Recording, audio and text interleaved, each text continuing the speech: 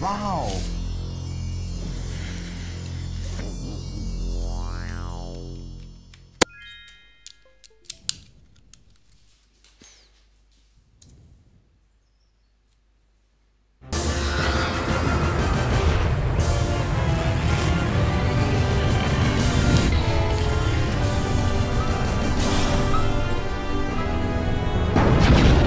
Hey, bro, watch your jet.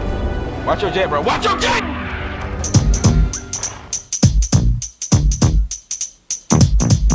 Now this is a story all about how my life got flipped, turned upside down, and I'd like to take a minute, just sit right there. I'll tell you how I became the prince of a town called Bel Air.